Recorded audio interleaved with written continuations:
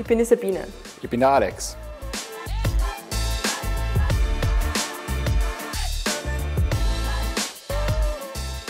Ehrgeizig, humorvoll, verständnisvoll. Gesellig, für jeden Spaß zu haben und ein bisschen dickköpfig. Ich gehe Hip-Hop, ich zeichne mal total gern und wenn ich gerade zu faul bin zum Üben, dann spiele ich Klavier. Da ich selbst aus dem Innergebirge bin, bin ich gerne in die Berg, sei es jetzt fürs Klettern oder fürs Skifahren, je nach Jahreszeit. Es ist sehr interessant, weil mir die beiden Teilbereiche sehr interessieren. Es ist abwechslungsreich und teils sehr herausfordernd. Zukunftsorientiert, interdisziplinär, das perfekte Bindeglied zwischen Wirtschaft und Technik.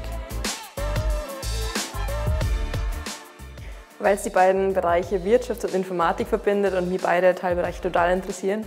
Und dadurch kann ich einfach beides haben, ohne dass ich mich entscheiden muss, was genau ich jetzt will. Es sehr breite Zukunftsaussichten bietet in nahezu jeder Branche.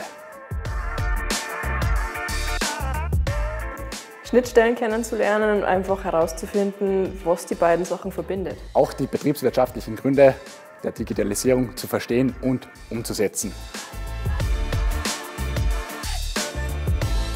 Operations Management, weil es mich total interessiert, was in Verträgen alles enthalten sein müssen, wie Geschäftsprozesse ablaufen und weil mich neben am Technischen das Wirtschaftliche auch total interessiert. Nicht so einfach, aber sehr interessant, IT Security Engineering.